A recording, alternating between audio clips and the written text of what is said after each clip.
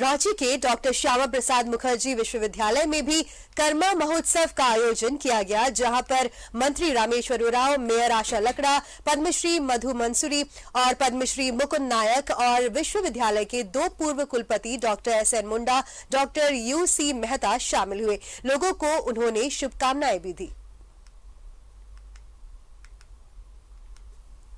से जहाँ कहीं भी रहते हैं जो अपने धर्म को छोड़कर चले गए, उनकी बात नहीं कर रहा।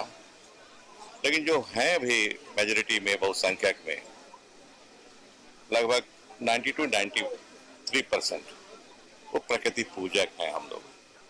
प्रकृति की पूजा करते हैं, ये कर्मा भी प्रकृति की पूजा है। कर्मा एक पेड़ होता है, उसके डाल को लाते हैं, उसकी यहाँ स्थापना करते हैं और पूजा करते हैं।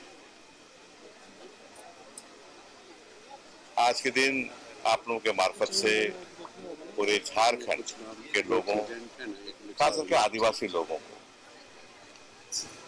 हम शुभकामना देना चाहेंगे कि इस पवित्र पर्व को हम बढ़िया से मनाएँ, शांतिपूर्ण ढंग से मनाएँ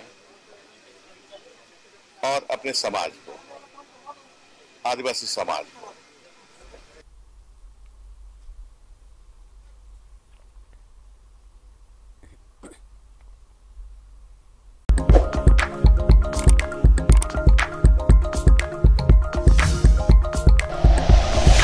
like and share videos, subscribe करें हमारा चैनल और प्रेस करें बेल आइकॉन न्यूज़ 11 भारत सच है तो दिखेगा।